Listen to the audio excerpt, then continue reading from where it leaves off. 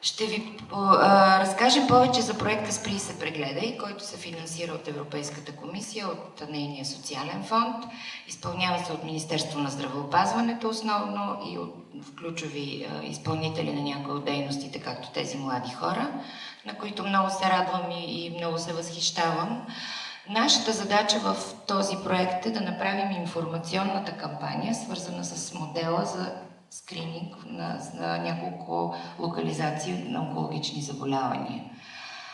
А, може би първо трябва да кажем какво е скрининг. Скрининг е профилактика, която е малко по-различна от общите представи за профилактика. Не просто да отидете на лекар, а да отидете при специален лекар, където информацията за вас ще се съхрани и ще се върне в един а, информационен блок, където пък ще имат грижата да на всеки 3 години да се свързват с вас, да ви поканят на профилактичен преглед и този ритмичен процес на 3 години да се следи здравния статус на нацията трябва да остане като модел на успешна здравна политика. Има вече сериозни доказателства, че между 60 и 80% в света се ограничава заболеваемостта след скринингови програми. Но за съжаление това са много бавни процеси. За да влезем и ние в тази статистика ще трябва да минат минимум 10 години, може би и повече. При рак на гърдата така постоянната и системна скринингова програма би могла да намали смъртността между 25 и 30%, при рак на маточната шийка до 60%, а при рак на дебелото и правото черво до 16%. Пак ще сложа акцент, мислете за тези проценти като човешки животи. Целта на тази презентация е да ви накарам да се чувствате отговорни за всичко, което ще се случи и за вас и, и в обществен план, защото точно вие а, имате възможност да участвате в разписването на този модел, да докажете в негова, неговата ефективност. Живота е присмехулник и ми доказа, че може. 14 години вече съм жива и здрава и не възнамерявам да умирам, поне не от рак.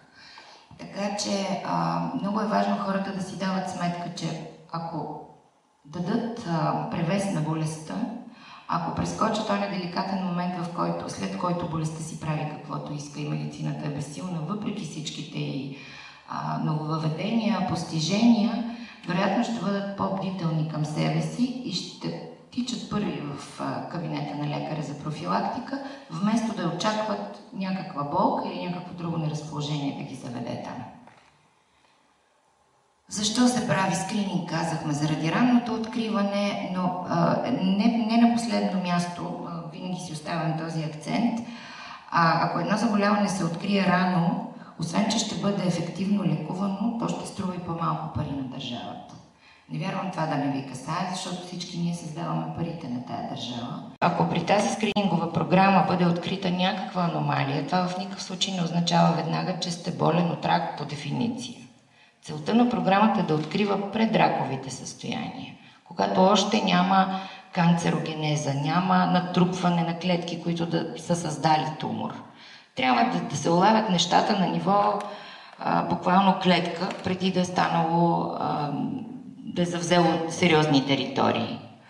Тук можете да видите изображения на мамографска снимка. На едната е снимано доброкачествено образование, ето това а на следващата е злокачествено. Вероятно правите разликата във формата. Това е малко по безформено, стои като плака, докато това си е съвсем с ясни контури и за един добър хирург това е сигнал, че той просто трябва да отстрани. Значи идеята е чрез тези покани, това е елемент на повикване, в който, чрез който целим да възпитаме инстинкт в българина и в самите себе си за отговорност към собственото здраве, тъй като вие вече имате сигнал, имате открито заболяването и сте на активно лечение, при вас е създаден този инстинкт и рефлекс, вие да се следите. Има хора, които не се преглеждат в продължение на десетки години и те никога и няма да го направят. При тези хора вероятността нещото, заболяването да се появи е много по-голяма, тъй като Идеята на тези три заболявания е, че се започват изменения в клетките, което съвсем в началото дори не е рак. То е предраково състояние, но ако го оставите незабелязано и а, без лечение в продължение на толкова дълъг период, то се видоизменя и се превръща в злокачествено заболяване. Тогава вече говорим за това, през което вие сте минала, което въобще не е хубав сценарий. Идеята е нещата да бъдат спрени съвсем в началото, когато те могат да бъдат изчиствани по доста елементарен и ефективен начин. И ефтин най-вече, както за вас, така и за държавата, което ще позволи на държавата да инвестира в други посоки, така че да се оптимизира като цяло здравното обслужване. Освен всичко останало, в този проект се наливат пари от Европейския съюз. Към момента от 400 000 покани са направени едва 5 000 прегледа, което е безсрамно малко. Българи не отказва да участва в това нещо и накрая ще се наложи да върнем парите на Европейския съюз за едно добро, което те са ни позволили ние да си направим, а ние сме отказали да си направим. Дали защото сме глупави, дали защото ни е страх без да има причина, както и госпожа Адърска ви е разказала по-рано. Други въпроси? Колко струва едно такова лечение, примерно за рак на гърдата? На един пенсионер, ако се открие и ако се докаже, ако трябва той да се лекува. Независимо колко е годишен, лечението на болните с рак на гърдата може да струва между 100 и 500 хиляди. Между 100 и 500 хиляди лева. И цената кой е поема? Държавата? Държавата поема цената. Може ли това да го кажем пред микрофон? Значи госпожа Адарска е компетентният орган в случая, защото тя е председател на Асоциацията на пациентите с онкологични заболявания и тя се занимава с такива хора всеки ден.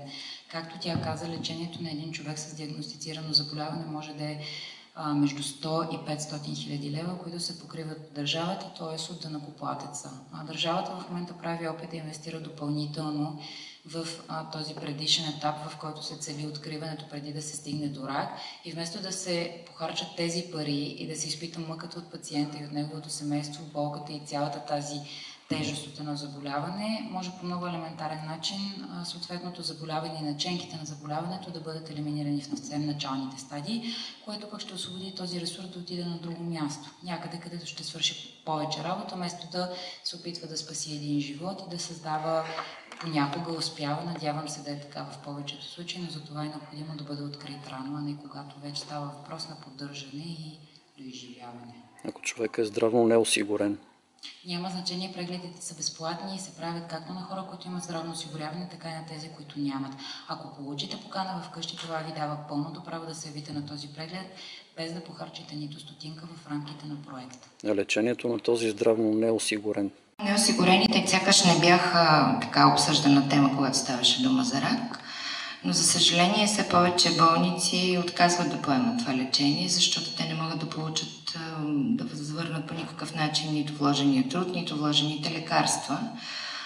Предполагам, че ще се изработи механизъм, който да или да застави тези хора, или да им даде възможност да работят и да се осигуряват, или както беше преди години, когато Министерство на здравеопазването поемаше грижата от своя бюджет, да не се прави такава селекция на, на пациентите.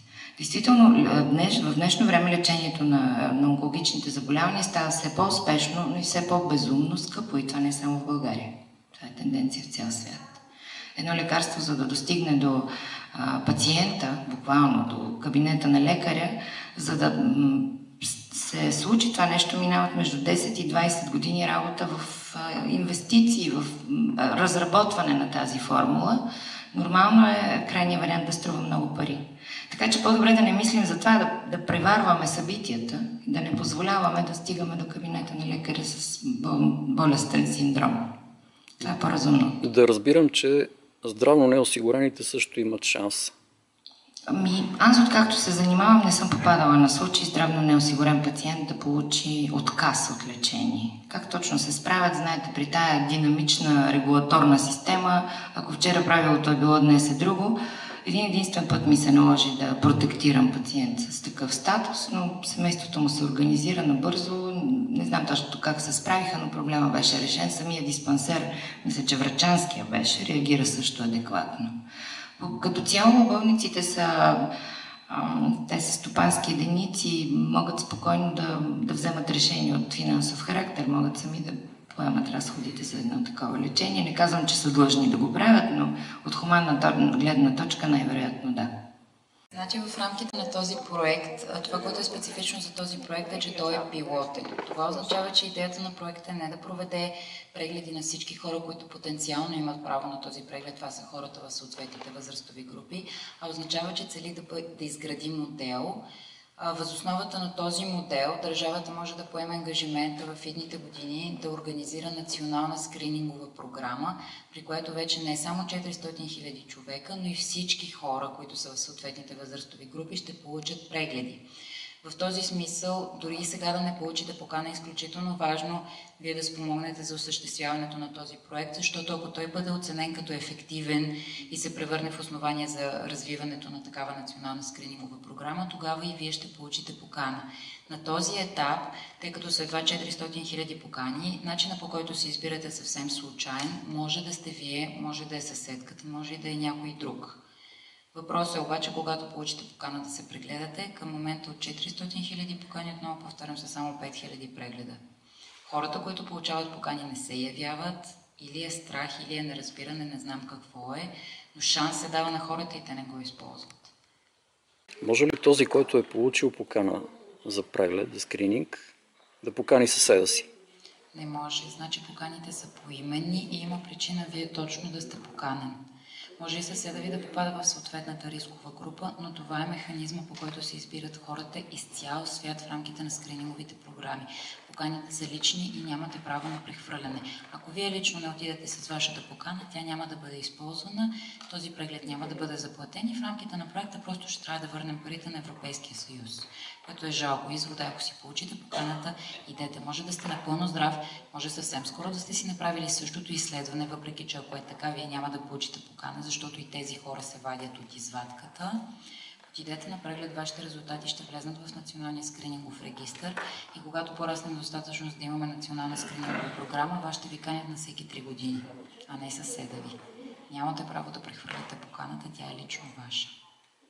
А психолози работят ли с хората вече на които, са установено, на които е установено дадено заболяване. Това е. Айде да чуем сега отговор какъв ще бъде. В 2009 година изпълнихме един европейски проект, който целеше да докаже нещо, което ние по дефиниция знаем, че психолозите трябва да са част от мултидисциплинарния екип, който се занимава с един онкологично болен. Доказахме го, разработихме стандарт за немедицинска грижа, който беше институционално припознат и благодарение на този стандарт вече всяко специализирано здравно заведение за лечение на рак може да си назначи психолог и да му създаде необходимия обем ангажименти.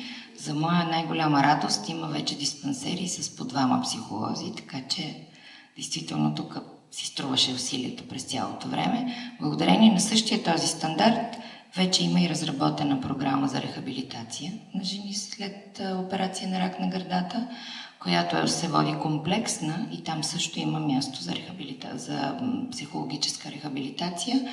Програмата се плаща от държавата. Благодаря. При и се прегледай. Твоето здраве е в твоите ръце. Настоящият клип е изготвен с финансово. Освен, че сме закъснени, трябва непременно да се случи. Рака на дебелото и правото черво е заболяване с е, изключително голяма социална значимост е свързано с висока частота на заболяемост и висока смъртност. Профилактиката и лечението са трудни, както и самата диагноза. Прегледай. Твоето здраве е в твоите ръце. Настоящият клип е изготвен с финансовата подкрепа на оперативна програма Развитие на човешките ресурси Годишно в България от рак на маточната шийка, рак на гърдата и рак на дебелото и правото черво заболяват над 9200 мъже и жени. Прегледайте се, защото имаме нужда от вас. Спри и се прегледай. Твоето здраве е в твоите ръце.